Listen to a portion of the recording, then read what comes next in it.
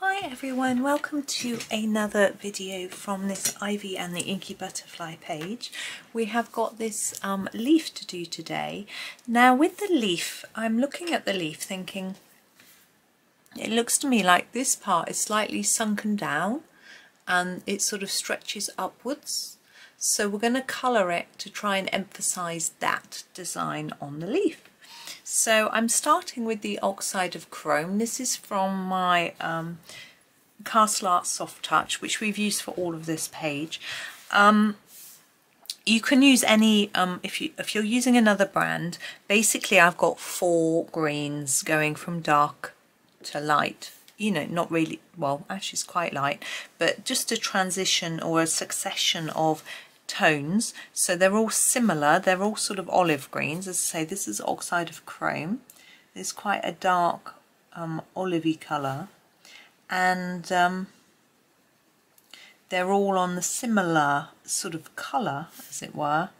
And um, so, but getting lighter.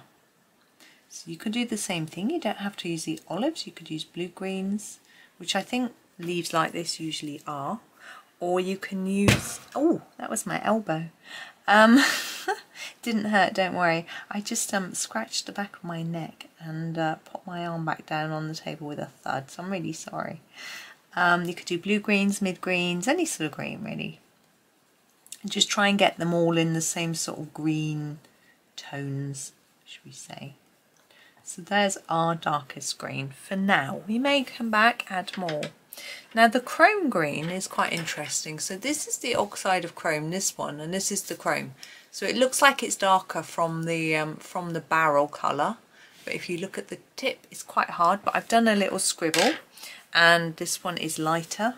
So that's why I'm using it next. But uh, when I say I've done a little scribble, I mean uh, like a swatch, but because I haven't swatched these, then I just scribbled it.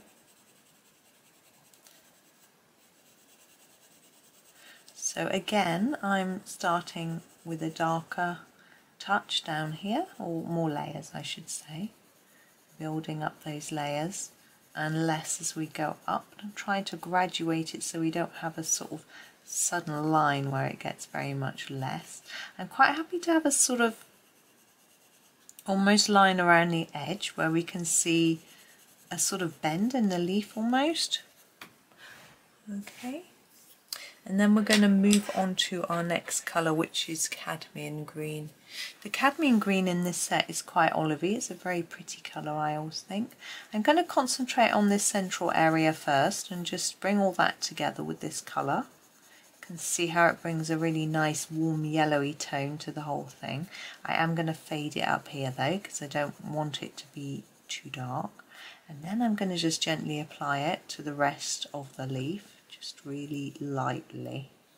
I have a little think about how I'm going to graduate that colour in a minute.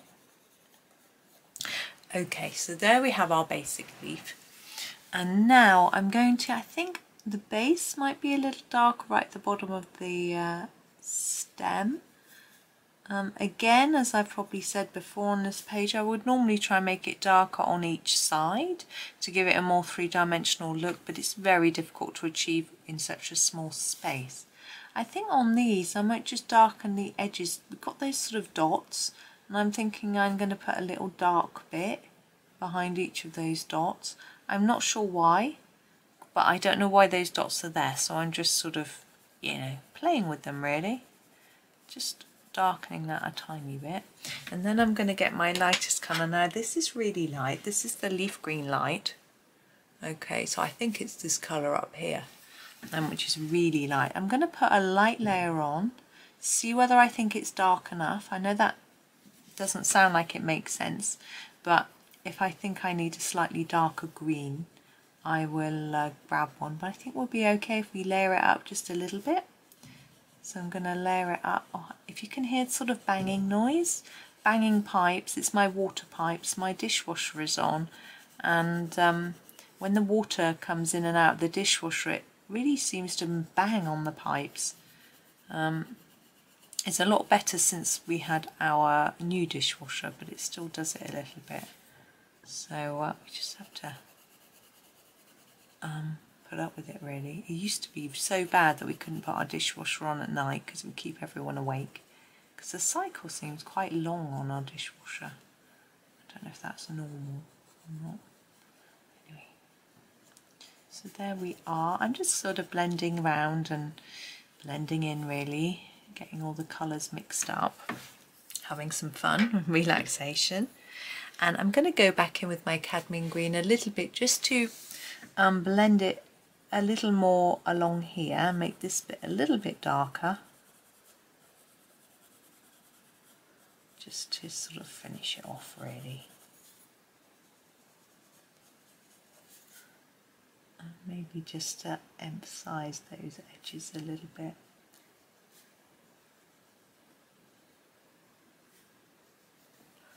There we go. And I think we're finished. So there is our leaf. Didn't really take very long. I'm not quite sure if it has quite looks how I had imagined it should. But um, I had a go. If you're not happy with that, if you don't want yours to look like that, then you can colour it in a very different way. It's completely up to you. But anyway, it is just a different way that you can approach a leaf, which I think can be useful. Right, I am going to go and uh, and leave this for now. But thank you so much for watching. Do enjoy the rest of your day and happy colouring.